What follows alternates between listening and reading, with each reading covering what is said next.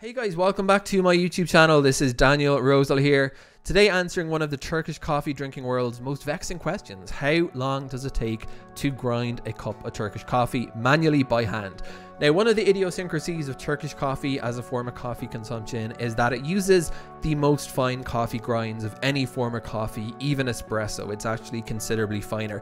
Now, this uh, peculiarity actually means that for the newbie Turkish coffee fan, it's actually more affordable to get going using a hand grinder because because the grind is so fine when you're looking to get a, a machine grind you're typically looking at a high-end conical burr grinder, the type you might find in a coffee shop or even in a coffee roastery. So those tend to be pretty pricey but you can pick up a fairly inexpensive hand grinder from Amazon. I'm using one from uh, sozengrinders.com. I'm pronouncing that wrong. It's a Turkish family owned business. My one did, did come with a little sticker of authenticity. I just uh, removed it because I'm finicky like that.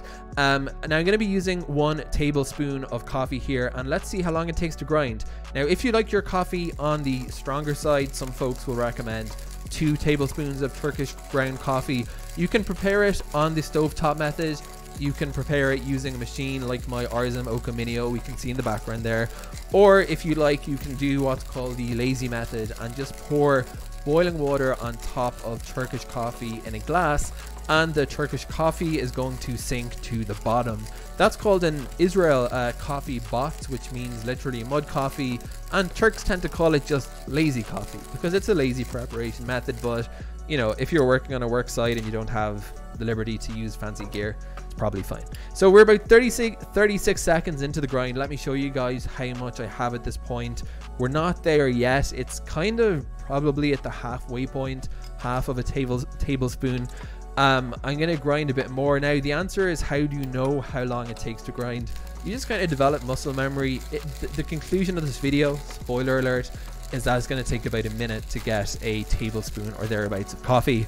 So we're at 45 seconds now, and I'm just going to continue until uh, we wrap up here. And 50 stopwatch is stopped at 50 seconds. I'm going to pour a bit more grounds into the tablespoon measure, and you can see how much we have. And I'm going to call this a tablespoon because I dampened it down and that's not something you typically do with Turkish coffee. So you can see it's almost at the top there. It's like 90% full. And if I didn't dampen it, it probably was, I think it was actually all the way there at the tablespoon.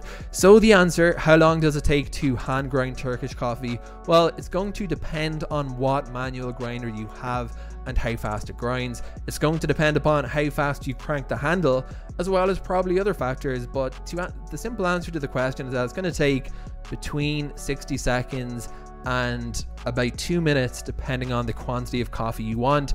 If you're going for one tablespoon and you're using a Sozen grinder, it's going to take 60 seconds. If you want two tablespoons, double that for two minutes. Hope that was helpful.